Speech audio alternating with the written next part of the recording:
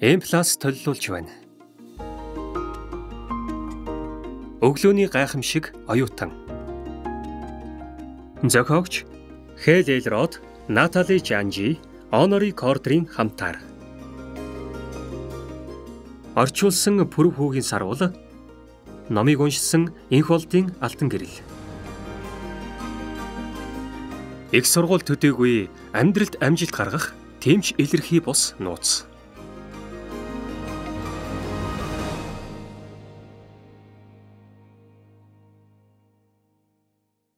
Нэг яагаад өглөө чухал болох? Таны бодож байгаагаас ч илүү. Амьдрал богинохон гэдэг үг бараг үлэг болтлоо давтагдж байгаа боловч энэ удаад харин үнэн юм шүү. Юу гэвээс танд аз жаргалгүй бас хэр тааруу байх хангалттай цаг хугацаа байхгүй. Ингэх нь утга учиргүй төдийгүй зовлонтой байдаг. Робин Уильямс, Нью-Йорк Таймс-ийн бестселлер зохиолч. Хэрвээ та орой бүр сэтгэл хангалуун орондоо ордог бол өглөө бүр шийдэмгий сэрэх болно. Жорж Лоример, сэтгүүлч, зохиолч. Өглөөг хэрхэн эхлүүлэх нь тухайн өдрийн өнгийг тодорхойлдог. Иймээс өдрийг зоригтой, сахилга баттай, хөгжил өөд тэмүүлсэн, зориг төвтэй эхлүүлэх аваас тухайн өдрийг ялан дийлэх нь гарцааг байна. Тэгвэл та өдрийг дарамттай эхлүүлдэг үү? Ихэнх оюутнууд ийм байдлаар эхлүүлдэг гэдэгт би итгэлтэй байна. Үнэн дээр тэдний олонх нь сэрүүлгээ байн хоошлуулдаг бөгөөд зайлшгүй шаардлагатай болох үед эсвэл хичээл нь эхлэхийн өмнөхөн орноосоо босдог. Хэрвээ та хүсэл мөрөөдөлтэй болсон нам гүм амар амгалан байх цаг хугацаагаа эдлэх боломжтой бол хэрхэх вэ? Тэрхүү цэвэр тунгалаг эмх цэгцтэй оюун санааг бий болгож алдсан нэр төр тайван байдлаа эргэн сэргээж амьдралдаа эзэн суух тэр мэдрэмжийг дахин мэдрахийг хүсэх үү? Гэвч та ингэж чадахгүй гэдгээ эсвэл чадахч яг одоо боломжгүй гэдгийг сайтар мэдж байгаа. Магадгүй хангалттай нойр авсан үедээ эсвэл элдв бие таалт бичих шалгалтад бэлдэх шаардлагагүй үедээ л чадах байх. Иймээс ихэнх оюутнууд өглөөг цааргалангүй өгтдөг нь хачирхалтай хэрэг биш бөгөөд сэтгэл санааны эсвэл үүрэг хариуцлагынхаа нөлөөнд автснаар далд ухамсартаа хангалттай ирч хүчгүй байгаагаа тэрч бүхэл орноосоо босох хүсэл сонирхолгүй болохоо итгүүлдэг. Улмаар хувийн зорилгоо огоорсон оюутны амьдралын нэг завгүй өдөр болон хувирдаг. Мөн дийлэнх оюутнууд өөрсдийгөө эртэж биш гэдэгт итгэдэг төдийгүй залхуур хандлага нь эртнээс хэвшсэн байх нь бий. Гэхдээ та энэ бүхнийг өөрчлөх боломжтой гэдгийг мэдвэл яах вэ? Хэрвээ та өглөө эртлэн дуугарах сэрүүлгийг тухайн өдрийн анхны бэлэг хэмээн хүлээн авдаг бол хэрхэх вэ? Энэ бол бусад бүх хүмүүс унтаж байхад өөрийнхөө болон хайртай хүн бүрийнхээ төлөө өөрийгөө бүхий л мөрөөдөлтөд хүрэх нэгэн болоход зарцуулах бэлэг мэт цаг хугацаа юм. Магадгүй танд энэ бүхэн гайхалтай сонсогдож байгаа боловч Натали гэвч би эртэж нэгэн биш шүү дээ гэж бодож байж болно. Би ойлгож байна. Үнэхээр шүү. Тэгэд ч би үүнийг өмнө нь өөртөө олон мянган удаа хэлж байсан. Би өглөө бүр эрт босох гэж маш олон удаа оролдож бас бүтэлгүйтэж үзсэн. Гэвч энэ бүхэн өглөөний гайхамшиг номтой уулзрахаас өмнө болсон юм. Тиймээс надад итгээрэй.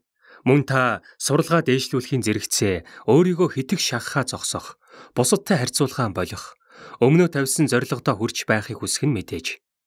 Түүнчлэн дээрх бэрхшээлүүдээс үүдэн гардаг тэмч тааламжтай бос мэдрэмжүүдийг үгүй хийхийг зорих нь гарцаагүй. Учир нь эдгээр хүчин зүйлсийн уршихаар та өөртөө итгэх итгэлээгээж сайн оюутан байх боломжоо алддаг гэхэд хэлсдэхгүй. Үүндээ би агаарын нислэг бүрийн өмнө өгөөгддөг дараах зааварт бүрэн итгэдэг нэгэн. Эхлээд өөрөө хүчил төрөгчийн баг зүгээд дараа нь хүүхэддээ зүүж өг. Учир нь хэрвээ та эхлээд ухаан алдвал яаж бусдад туслах вүлээ? Гэвч олон оюутнууд дээрх энгийн үннийг ойлгодоггүй. Тэд өөрсдийн эрх ашигыг умартаж бусдыг чухалчлах нь амжилт гэдэгт итгэдэг. Улмаар дааж давшгүй үүрэг хариуцлага хүлээж, туйлдж, сэтгэл санаагаар унаж, цөхөрч, бас шантрахад хүрдэг. Тань сонсогдож байна уу? Тэгвэл та дараах үннийг тогтоож аваарай. Өглөө бүхний шийдэл. Мөн өглөөг хідэн цагаас эхлүүлэхээс илүүтэйгээр ямар сэтгэлгээтэй эхлүүлэх нь чухал байдаг. Түүнчлэн та олон жилийн турш сэтгэлийн дарамттай явж ирсэн эсвэл дөнгөж дарамт амсаж эхэлж байгаа аль нь ч вэ тодорхой шийдэл хайж байгаа нь мэдээж. Хэрвээ тийм бол өглөөний гайхамшигыг хэрэгжүүлж эхлэхээс өмнө танд хинч бас юу ч саад болохгүй тэрхүү өөрийн гэсэн цаг хугацаа гаргах нь хамгаас чухал юм шүү. Хэрвээ ингэж чадвал таны төсөөлж байгаагаас ч илүү үр дүн гарна гэдэгт та итгэлтэй байж болно. Гэвч би танд яг өглөөг хэрхэн байлдан дагуулахыг зааж өгөхөөс өмнө яагаад гэдгийг товчхон тайлбарлаж өгмөр байна. Учир нь та өглөөний гайхамшигын бодит үннийг олж мэдээд дахин нэг ч өглөөг алдахыг хүсэхгүй болно гэдэгт итгээрэй. Яагаад өглөө чухал болох? Эртлэн босож өглөөний дэглэмтэй болохын ач холбогдлыг таньж мэдэх тусам та эртэж шувуу өднөөс хавьгүй илүү зүйл барьдаг гэдгийг ойлгох болно. Тэгвэл удахгүй танд тохиох цөөн хідэн давуу талуудыг авч үзье. Голч дүн тань нэмэгдэнэ. Хойд Техасын их сургуулийн эртэж байх нь оюутнуудын дүнд нөлөөлдөг эсэх гэсэн 2008 онд хийсэн судалгаагаар өөрсдийгөө эртэж шувуу химээх оюутнуудын голч дүн шөнийн шар шувуу мэт оюутнуудынхаас бүхэл оноогоор илүү болох нь нотлогдсон байна. Уг судалгаа нь Америкийн нойрны эм судлалын академийн хэвлэлд нийтлэгдсэн ба судалгаа удирдсан доктор Даниэл Тейлор эртэж байх нь оюутнуудын хувьд бүхэл үсгэн дүнгийн ялгаа гаргадаг хэмээн дурдсан байдаг. Та илүү итвэх санаачлагтай бас бүтээмжтэй болно. Heidelberg-ийн боловсролын их сургуулийн биологийн профессор Кристофер Рандлер 2010 оны 7 дугаар сарын Харвардын бизнесийн тойм сэтгүүлд тавьсан нийтлэлдээ өглөөгөр гүйцэтгэл нь оргилдоо хүрдэг хүмүүс ажилдаа амжилт гаргах нь илүүтэй байдаг. Учир нь тэд орой сайн гүйцэтгэлтэй байдаг хүмүүсээс илүү итвэх санаачлагтай байдаг гэж дурджээ. Мөн Нью-Йорк Таймс-ийн бестселлер зохиолч дэлхийд танигдсан энтерпренер Робин Шарма хэрвээ та энэ дэлхийн хамгийн бүтээмжтэй хүмүүсийг судлах аваас тэдэнд нэг нийтлэг зүйл байдгийг олж илрүүлнэ. Юу гэвээс тэд бүгдээрээ эртэж хүмүүс юм а гэсэн байдаг. Та альва бэрхшээлийг урдчлан тааварлаж амдан шийдвэрлэж чадна. Рандлер өглөө эрт босдог хүмүүст бүхий л чухал давуу талууд байдаг хэмээн тааварлжээ. Тэрээр тухайн хүмүүс альва бэрхшээлийг урдчлан тааварлж зөөлрүүлж чаддаг төдийгүй ажил мэрэгжилдээ илүү амжилт гаргаж өндөр цалин авдаг гэсэн байна. Цаашлаад эртэж хүмүүс альва асуудлыг урдчлан харж хялбар байдлаар шийдвэрлэж чаддаг гэжээ. Хэрвээ та энэ талаар сайтар бодож үзвэл энэхүү чадвар нь оюутны амьдралаас зайлшгүй урган гарах сэтгэлийн дарамтыг үлэмж хөнгөлөх нь ойлгомжтой болно. Та мэрэгжлийн мэд төлөвлөж чадна.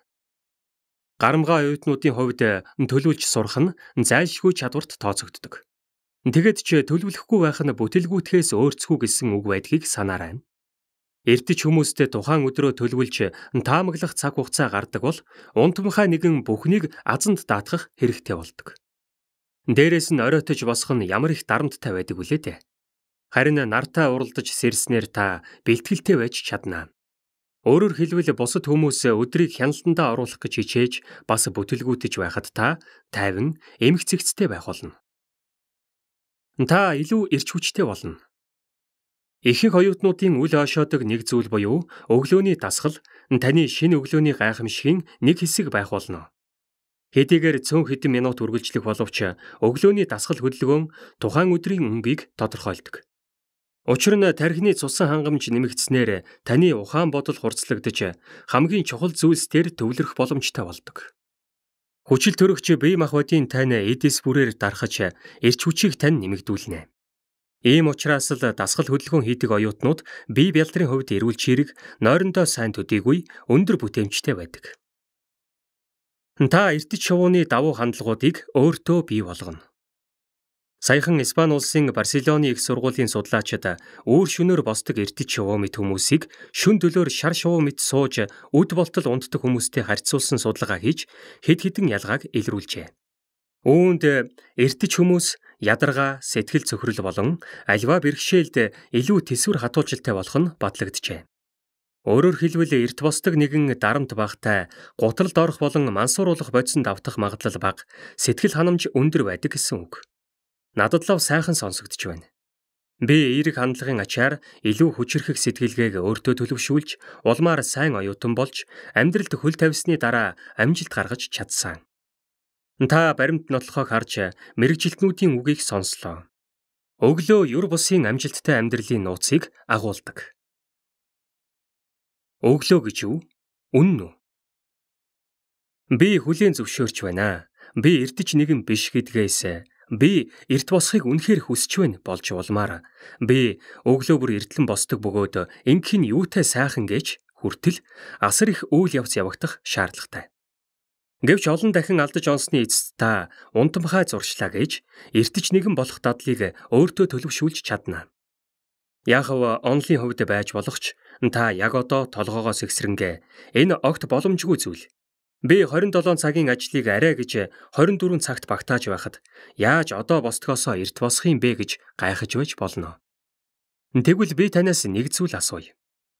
Яагаад болохгүй гэж Таны сайтар ойлгох хэрэгтэй нэг зүйл бол өглөөний гайхамшиг бол нэг цагийн өмнө босож тухайн өдрөө улам урт бас хүнд болгохын нэр биш.